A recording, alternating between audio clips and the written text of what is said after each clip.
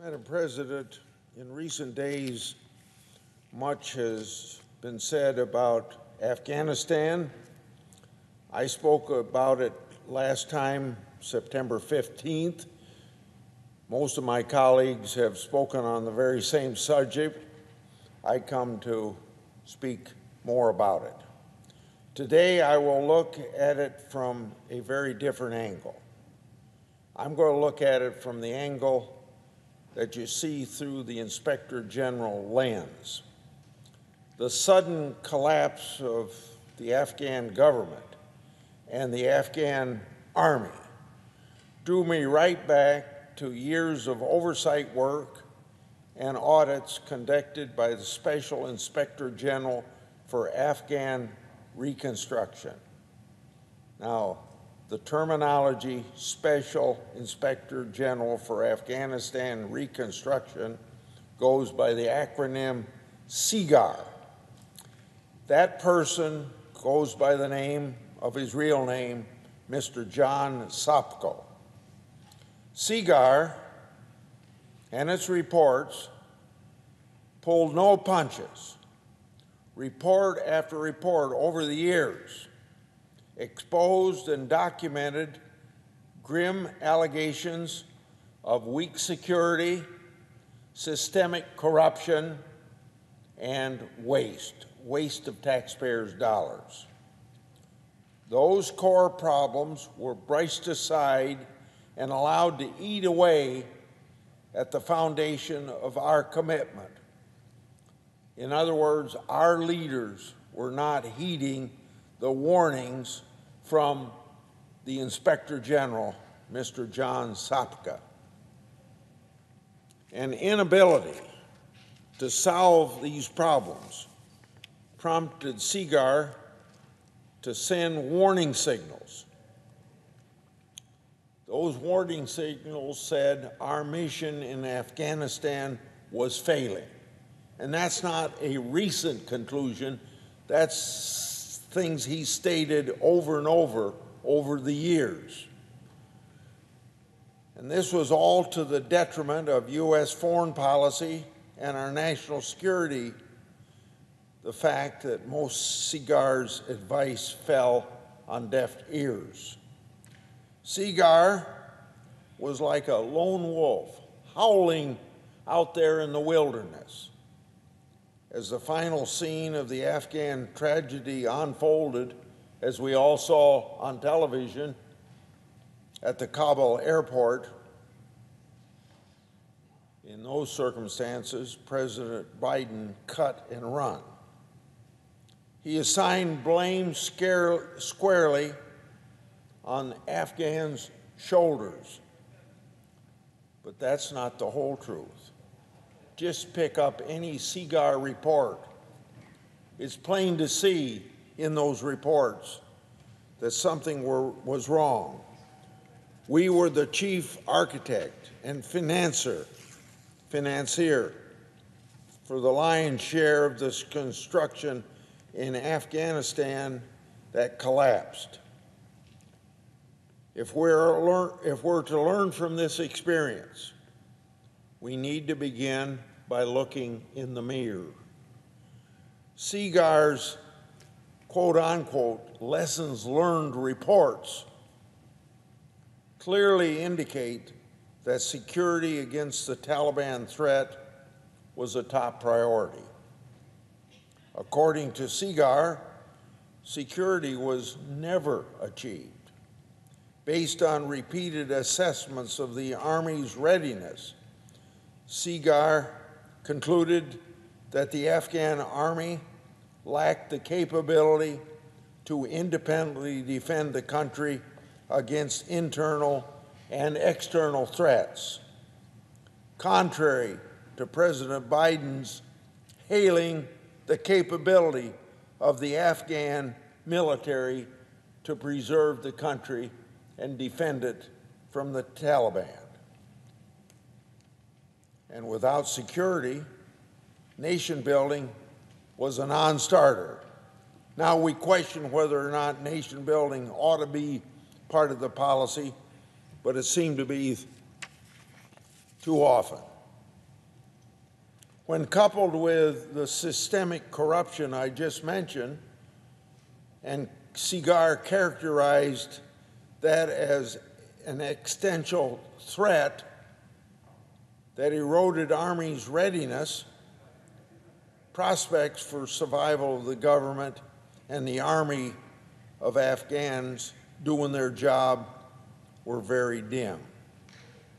Against advice uh, that I've given previous administrations, the President announced the date certain for putting out, pulling out the U.S. military. And by the way, that wasn't wise because you never tell your enemies what your plans are. So within days, the Taliban eliminated the Afghan army with hardly a struggle. The Taliban then seized U.S. military assets. The Biden administration left Americans and Afghan allies behind enemy lines, adding tragedy to the deeply flawed military exit. A U.S. drone strike killed 10 civilians. There's clear and present urgency for accountability. Do my fellow senators pay appropriate attention to the work of the IGs throughout government? Maybe not often enough, but sure in listening SIGAR, not enough of us listen to him. Afghans, Afghanistan's collapse underscores the merits of SIGAR's work out of three dozen confirmed IGs. IGs do important work, and their work should be considered greatly.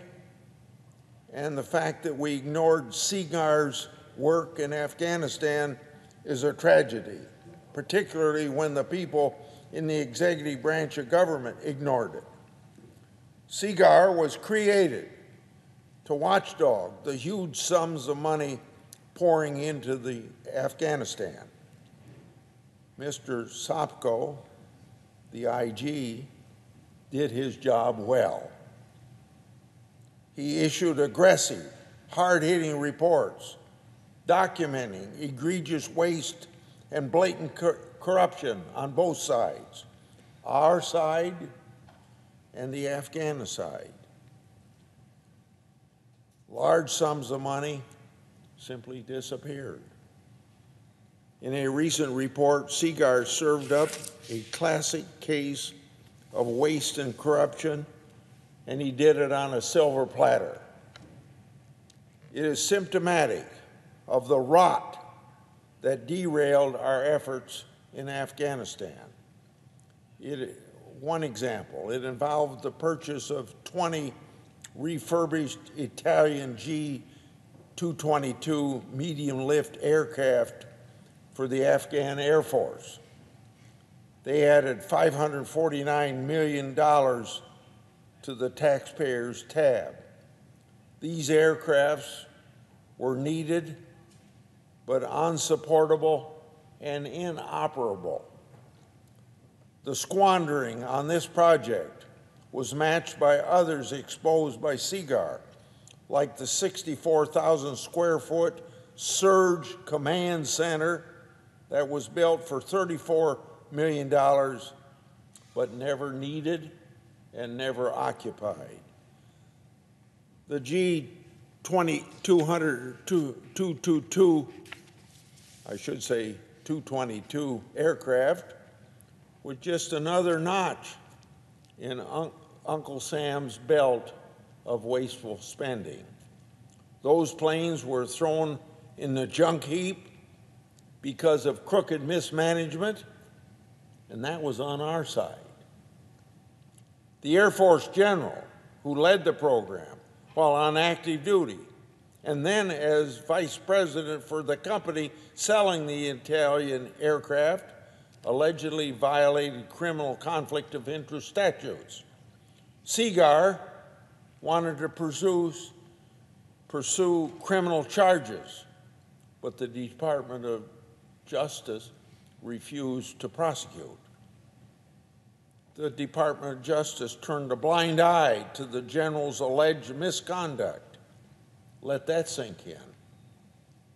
A half billion dollar taxpayers' dollars went up in smoke, and no one was held to account. At a minimum, this reckless spending demanded disciplinary action. With little or no accountability, it was easy for crooks to line their pockets with schemes like the G 222 aircraft. Now, SIGAR exposed that. It wasn't prosecuted, but SIGAR nailed quite a few. Investigations resulted in 160 criminal convictions. Corruption was found on both sides. The convicted included 42 Afghans, 58 U.S. military personnel, 49 U.S. contractors, and 11 U.S. government personnel and citizens. Some money was recovered, but obviously you don't recover all of it. However, in such a target rich environment, I suspect that SIGAR's investigators barely scratched the surface. Unfortunately, while SIGAR's finger was stuck in the dike, Uncle Sam kept spending money, kept the spigot wide open. Some estimate that over $2 trillion flowed through the pipe to, the, to a government and an army known by SIGAR to be riddled with sy- systemic corruption. We tolerated it, and the money kept flowing. What happened in Afghans- Afghanistan boils down to the fundamental principle of good government. Oversight is critical to accountability. SIGAR has more work to do. SIGAR will need to provide a full accounting for all the captured and abandoned weapons and equipment. You see a figure of $85 billion of that stuff left over there for the Taliban to use for whatever they want to use it for. Hopefully, never against the United States. The IG will need to track down unexpended dollars in the pipeline, estimated at six and a half billion or more, so those tax dollars can be returned to the Treasury or allocated for other legitimate and needed purposes. The IG will need to investigate allegations that high officials fled with hundreds of millions of U.S. dollars in cash, and we're told that one of those was the former president, the most recent president of Afghanistan, got away with millions and millions of dollars. Now, if true, this would be more proof of systemic corruption that was the country's undoing. Stolen tax dollars should be recovered. The House Defense Authorization Bill already instructs SIGAR to address these and other issues. I call on the Senate Armed Services Committee to adopt those same measures and authorize funding needed to finish the job by SIGAR. Congress needs to know why SIGAR's alarm bells on poor scrutiny, security, corruption, waste were largely ignored. They were unmistakable indicators of the impending collapse that we now know has happened to the country of Afghanistan, to the Taliban. Once the decision was made to pull out U.S. troops in early 2020, preparations for evac evacuations were mandatory. So then, why did our president make such a panicked and haphazard exit? Did no one see the warnings coming? and the signs that showed what would happen? Did the military fail to develop an orderly exit strategy and evacuation, ev- evacuation plan as alleged by Secretary Blinken? If true, who was responsible for that blunder? As congressional autopsy might help us avoid the same mistakes in the future, it might help us put forward a better foot to strengthen strategic alliances. As painful as it may be, we must never give up trying to learn from our past mistakes. We still face threats from terrorist groups with the same ideology that the 9 11 attackers have, and you know where they got their uh, uh, training in Afghanistan. We still have troops in many countries combating terrorism in partnership with local forces. We can't afford to sweep mistakes under the rug and just move on and forget about it. Without some soul searching, America risks further humiliation, humiliations like we have just witnessed, which will only embolden our would be adversaries.